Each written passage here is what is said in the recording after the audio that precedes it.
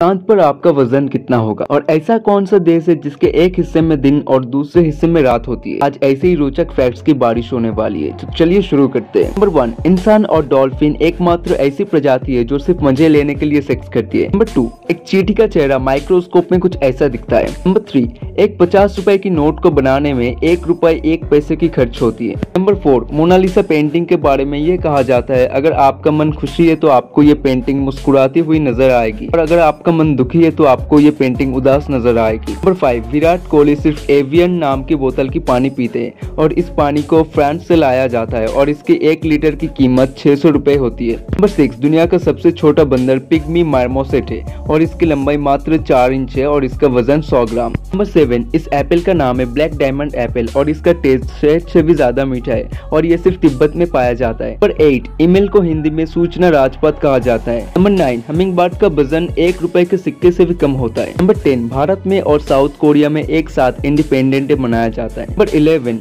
दुनिया में सबसे ज़्यादा सोना दुबई और लंदन में पाया जाता है। नंबर ट्वेल्व सैटर्न और जुपिटर में डायमंड की बारिश होती है। सोचो, अगर हमारे यहाँ पे होता तो क्या होता? नंबर थर्टीन भारत में सबसे पहला बैंक बैंक ऑफ़ हिंदुस्तान था। नंबर फोर्टीन रशिया एकमात्र ऐसा देश है जिसके एक भाग में दिन और एक भाग में रात होती है। नंबर फिफ्टीन सऊदी अरब एक ऐसा देश है जहाँ कोई नदी नहीं है। नंबर सिक्सटीन सूरज की रोशनी को पृथ्वी में आने में चार सौ निन्यानवे सेकेंड का वक्त लगता है। Number eighteen poison dart frog को दुनिया का सबसे जहरीले मेंढक कहा जाता है। नंबर नाइनटीन ट्रेन का आविष्कार साल अठारह सौ पच्चीस में जॉर्ज स्टीफन ने किया था। नंबर ट्वेंटी अगर पृथ्वी पर आपका वज़न सात किलो है तो चाँद पर आपका वज़न होगा दस किलो।